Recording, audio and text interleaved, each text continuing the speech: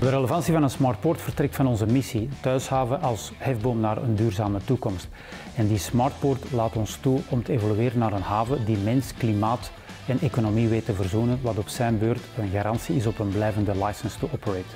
De smartport faciliteren doen we door, om een metafoor te gebruiken, digitale zenuwstelsel uit te bouwen waar we dankzij innovatieve technologieën zoals drones, slimme camera's en sensoren in staat zijn om permanent te voelen wat er zich in de haven afspeelt. We willen het uh, havenplatform slim maken door vier elementen. Eén, blijvend inzetten op het datasharing platform Nextport, omdat we op die manier de transparantie van de logistieke keten kunnen laten toenemen. Twee, in te zetten op innovatie-ecosystemen zoals de Beacon, waar start-ups, scale-ups, onderzoekers en gevestigde bedrijven samen kunnen werken, onder andere rond Internet of Things toepassingen. Drie, de haven permanent openstellen als een innovatieplatform, omdat we daarmee kunnen technologieën uittesten en markt klaarmaken. En vier, ons strategisch partnership met de Universiteit van Antwerpen, dat door in de jaren is uitgegroeid tot een portfolio van meer dan 20 lopende projecten.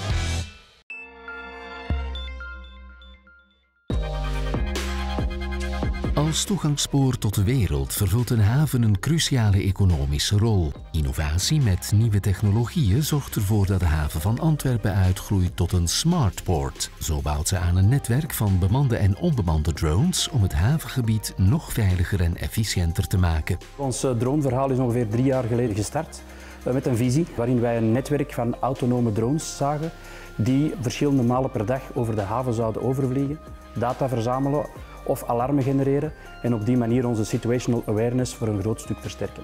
In onze dagelijkse operationaliteit zijn er heel wat voorbeelden van toepassingen die we met drones kunnen gaan ondersteunen. Hierbij moet je denken aan dingen als infrastructuurinspecties, bruggen, sluizen, kaaimuren, de begeleiding van onze kerntaak scheepvaartmanagement, uiteraard ook aan meer milieugebonden aspecten zoals olievlekdetectie, drijfvuildetectie, de bewaking van kritische infrastructuur en tenslotte ondersteuning bij incidenten. Sinds 2021 vervult het havenbestuur ook een rol als geozonemanager. Dit betekent dat het instaat voor het toezicht en de opvolging van het droneverkeer boven het havengebied. Om deze rol op een professionele manier in te vullen, zijn we de eerste haven ter wereld die een unmanned traffic management systeem heeft geïntroduceerd. Eh, deze digitale en volautomatische tool laat aan de ene kant toe aan operatoren om in dronevluchten de aanvragen daarvoor te doen. Aan de andere kant zijn wij als havenautoriteit in staat om een goed overzicht te krijgen van alle mogelijke vluchten die in onze omgeving eh, plaatsvinden. Sinds kort zijn we ook in staat om droneverkeer ook real-time te gaan opvolgen en dat hebben we gedaan door de installatie van drone monitoring en detectieinfrastructuur.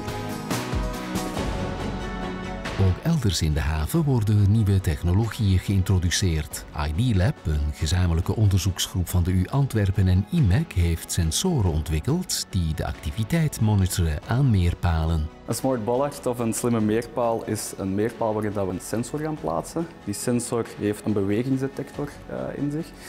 En op een efficiënte manier gaan we het raadloos doorsturen welke beweging gedetecteerd is in zo'n slimme meerpaal. Daarna wordt op basis van artificiële intelligentie gekeken wat er gedetecteerd is uh, in de trilling van de meerpaal en daar wordt dan een bepaalde actie opgenomen. Er zijn eigenlijk twee cases waardoor dit interessant is voor de haven. Enerzijds willen we kunnen detecteren dat er overbelasting is op bepaalde meerpalen.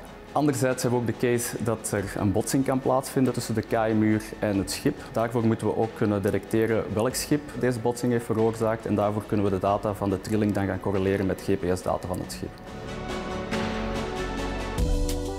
Deze nieuwe informatie draagt bij tot een hogere veiligheid in de haven. In de toekomst kunnen zulke slimme sensoren ook voor andere toepassingen worden ingezet. Uit onze laatste resultaten merken we dat er een grote meerwaarde is voor de haven. Daarom denken we dat er nog meerdere use cases zijn waarin we dit gaan kunnen toepassen in de toekomst. We denken bijvoorbeeld aan het meten van trillingen in grote kranen, maar ook het detecteren van impact op containers om te detecteren of goederen beschadigd zijn geraakt in het proces.